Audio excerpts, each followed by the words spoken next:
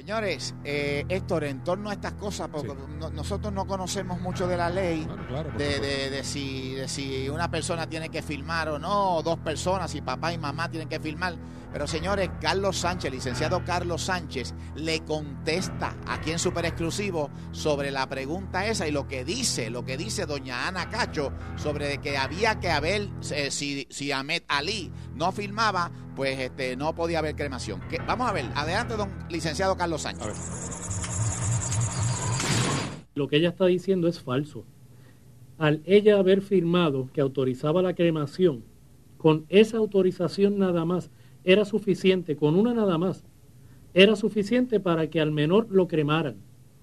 Ahmed Ali intentó hablar con ella para persuadirle de lo contrario y no hubo forma.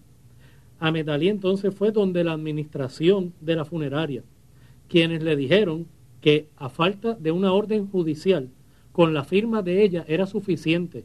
Esa fue la razón por la cual tuvimos forzadamente que movernos al tribunal a conseguir esa, esa orden de cese. Dicho sea de paso, durante la vista que se, lle- se llevó a cabo de emergencia, ese mismo día a las 4 de la tarde, el juez que presidió la misma especificó que en Puerto Rico no existe jurisprudencia en torno a ese tema. Eso quiere decir que con la sola firma de Ana era suficiente para cremar a ese nene.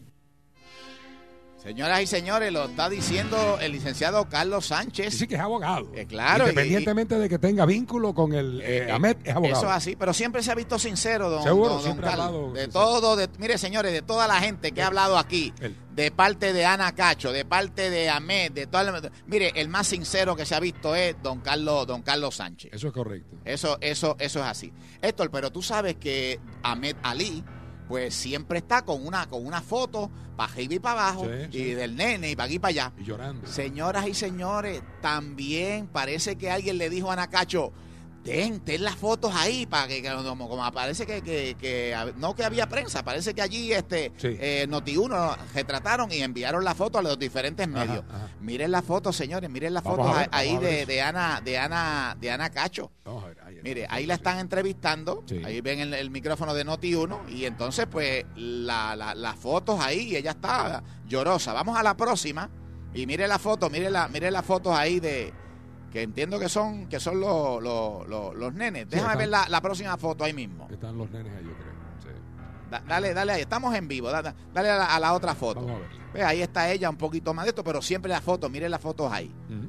Y entonces, pues parece que eh, quien, quien la aconsejó le dijo, ahí está, pon, pon- la foto para que la gente, la gente la, la, la vea. El nene con los hijos, con las hermanas. Eh, eh, esa- exactamente. Y entonces, si vamos a la próxima foto, que ve, fíjate que, no, que ella no está, está como con una, suet, una suera de esa que llaman. Y ahí está Joan Hernández, este, que debió recogerse el pelito para que la, para que la, vi- para que la vieran. Bueno, señores, hay otra pregunta importante.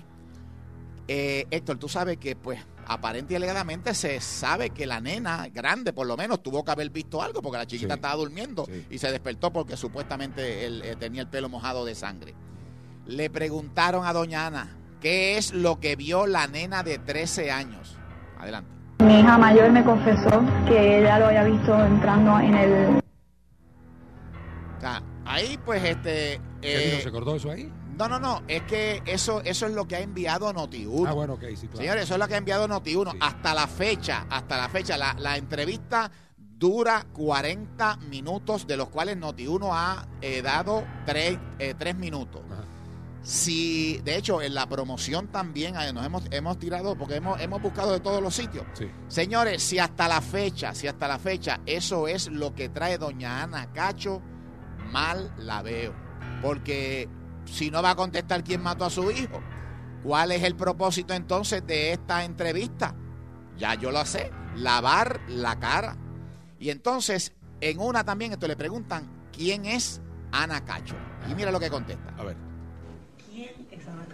Ana Cacho antes que todo era una madre. Y esa es Ana Cacho, porque yo tengo dos hijas todavía. Y va a seguir siendo Ana Cacho. Porque yo sé que hay mucha gente que ha orado por él, y por mí y por mis hijas.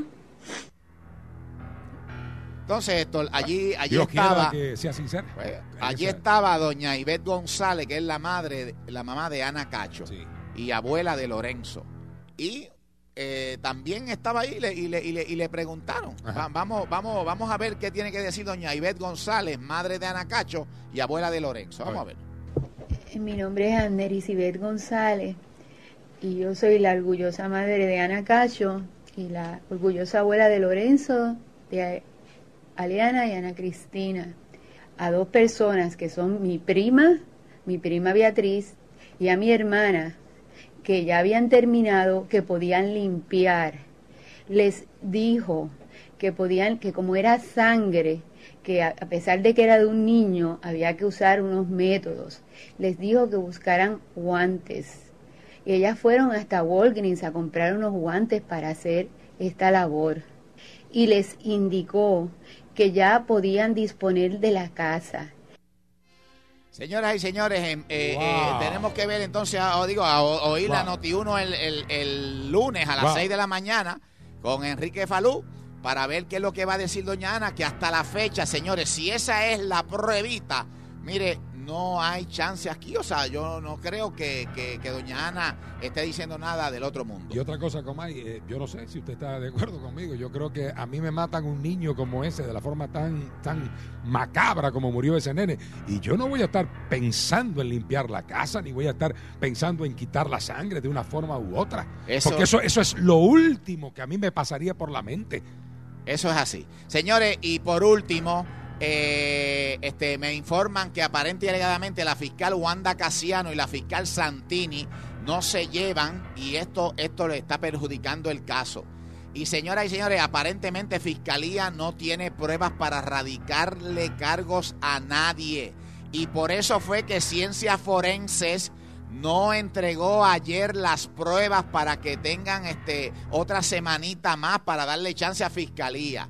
Así que, señoras y señores, se está poniendo la cosa color de hormiga brava mientras otros están aprovechando este tiempo. Le vamos a pedir a la, a la fiscal Ibeliz Domínguez, que es la fiscal general, que ponga orden allí a ver qué es lo que está pasando, porque aparente y alegadamente, este, eh, eh, y a Somoza, que es el, es el jefe grandote, ok, el, el secretario de Hacienda De- de eh, justicia. interino, digo, de justicia. De justicia, jefe de Eh, todos ellos. Eso es así. Así que, señoras y señores, esto se sigue poniendo color de hormiga brava.